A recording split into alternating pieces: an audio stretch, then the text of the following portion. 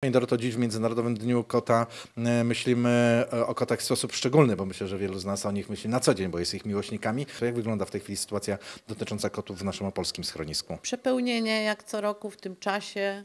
Koty się marcują, rodzą się w maju, od czerwca zaczynają do nas napływać falami. Jest prawie 200 kotów, z czego tak jedna czwarta to są kocięta. Jest to związane z tym, że ludzie no, dalej nie myślą, że należy sterylizować dorosłe koty, które zaczynamy dokarmiać, bo one przy tak dobrym jedzeniu na pewno nam się rozmnożą i wtedy robi się to problem, szczególnie jeżeli pojawia się drugi miod i wtedy tych kotów już jest bardzo dużo i one wtedy trafiają do schroniska. Jedna czwarta naszych kotów jest kotami wychodzącymi, co znowu wiąże się z brakiem sterylizacji, ponieważ część z tych kociąt, które do nas trafia, nie znało człowieka wcześniej i nie jest się w naszych warunkach szansy na przemienienie w takiego kota przytulaka i te koty po sterylizacji, jak już dorosną do sterylizacji, są wypuszczone. Wypuszczone na zasadzie, że sobie swobodnie mogą wchodzić i wychodzić do sąsiednich klatek, mają tu jedzenie, ciepełko, bardzo dobrze się u nas czują, możecie je zobaczyć na zewnątrz, ile kotów właśnie chodzi. Pięknych, ale niestety nietykalnych. A jak się mają filmowe koty w Meduzie od kilku miesięcy?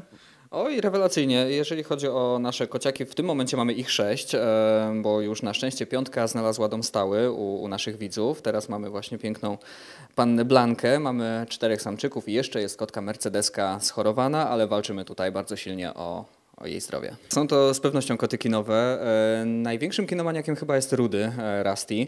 E, Bardzo uwielbia oglądać Rysia, Król Puszczy, jak i również Serce Dębu. To są takie filmy, które pokazują bardzo dużo przyrody i dużo zwierząt, także no tutaj faktycznie znajdują wspólny język na ekranie. Walczymy tutaj faktycznie, żeby w końcu cała nasza szóstka znalazła dom stały.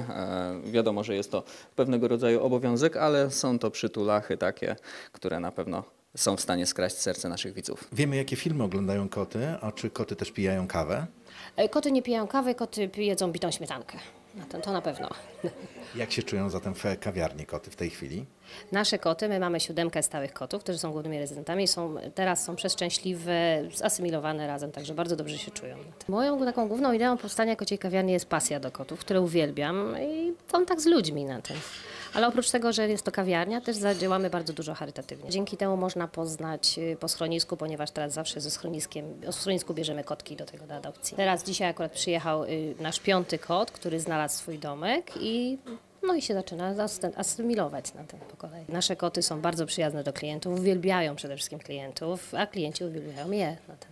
Przychodzą na ten, czy na kolanka, czy głaskać, czy bawić się, także no, no jest to główna podstawa kociej kawiarni.